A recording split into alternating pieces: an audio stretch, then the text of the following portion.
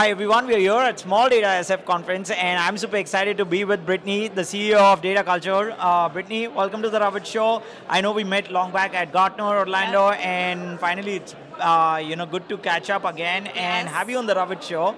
But uh, just for our audience, would you like to quickly introduce yourself? Tell us yep. more about what uh, Data Culture does. Yeah, so Brittany, CEO of Data Culture. We are a boutique data consultancy uh, specializing in both data strategy as well as data engineering services. Nice. We tend to partner with a lot of companies who either don't have a data team or they have a data challenge that they're trying to untangle, and we'll come in and help them get through that. So. Yeah. Uh, also, uh, just from our research and you know, obviously uh, learning more about the things that data culture does, you've written about how most companies don't need more infrastructure, but rather better decision making. Can you walk us through an example of something like that, uh, where a company thought they had a data problem, but had a decision making problem internally? Yeah. So that would be interesting to know. Yeah. I think it's so often that people think the technology needs to change. Right. When in reality, it's either the questions they need to ask, how they're framing the problem.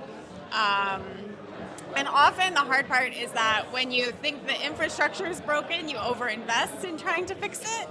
We've seen a lot of that. We've actually come in after the fact where people have these really bloated data stacks, but they're not actually getting the full benefit of it. I think right. a really good example is and I hate to say it, but a lot of these kind of uh, BI platforms that optimize for the nth degree of self-serve, when a lot of organizations are just trying to answer simple questions, but they get so bogged down by the complexity of all mm. the hmm. filters, bells and whistles, and end up spending a lot of money on those tools that they don't get the value from. Yeah, very interesting, yeah. and uh, definitely uh, it comes from you know experience what you're kind of talking about. So that's uh, pretty interesting. Uh, I'm kind of also wanting to learn a little bit about uh, the organizations and how they kind of think.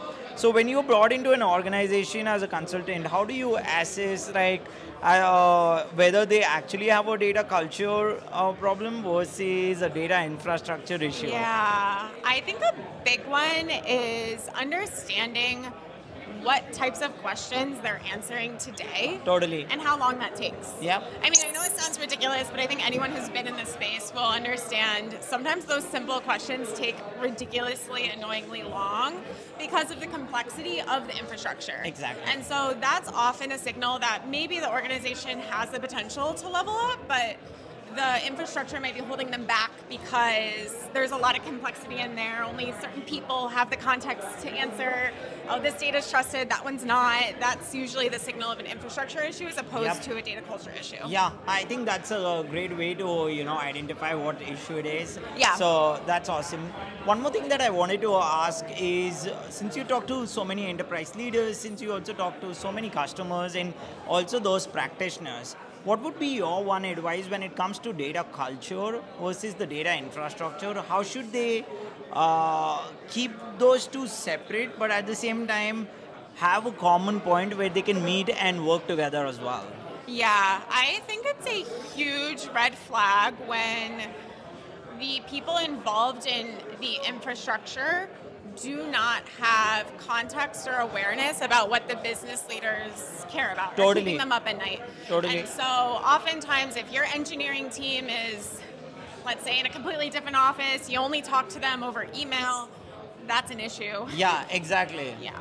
I feel like, yeah, 100%. If you can get that gap closer and uh, if you can just make sure that the teams are kind of interacting and cross uh, sharing ideas, it just makes it easier for them to be in a better spot. Exactly. And I would also add that it's also a hiring thing or a mindset thing. Mindset uh, thing. Like hiring for engineers that do have interest and appetite and understanding right. the broader business context. Some people view their role as I just need requirements, and if I don't get good requirements, I can't do my job well. And I personally like it sounds nice in theory, but in practice that doesn't work well.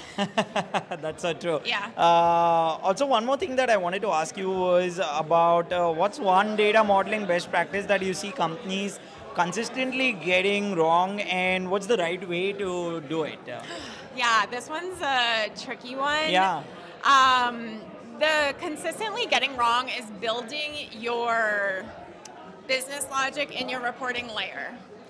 I mm-hmm. know it happens a lot, especially for companies who are moving quickly, maybe especially startups where they're changing their business model a Right. lot. There's a lot of tech debt that's built up, and I wish that teams would be less afraid of kind of almost wiping it out and starting over. Oftentimes, that's less effort than trying to untangle what you currently have. Right. But optically, it's hard to convince the business that that's the best approach. So, anyway, that's one thing that I often see going wrong. And unfortunately, data cultures often bring in the point when it reaches breaking point and they're like, we're ready to scrap it and rebuild from scratch. But I wish teams would have a little bit more openness early on to invest in managing that tech debt. I, I love it. Uh, I love those insights. Uh, Brittany, one more quick question for you. For those who are wanting to get into the journey of uh, obviously wanting to learn this difference and wanting to even uh, you know collaborate with you and uh, work with you, which is the best way to do that, and uh, where can they do that? Yeah, so reaching out to us on LinkedIn is a great nice. place. We're very active. Our whole team is active on LinkedIn. Fantastic. We have a blog on our data culture site where we talk about both the work we're doing, but also tips and tricks of common data challenges. Yep. So I would say that's the best place to reach us. Fantastic. And people can follow you on LinkedIn to stay updated with all the cult- data culture stuff uh, that's happening. All right, uh, Brittany, first of all, thanks for taking the time out. Yeah. Uh, you have a fantastic conference ahead, but such a pleasure chatting with you on the Yeah. Ravit Show. Thanks we'll keep the conver- Yeah, we'll keep the conversation going and definitely looking for a 2.0 very soon. Awesome. Yeah, likewise. All right, everyone, you. thank you very much.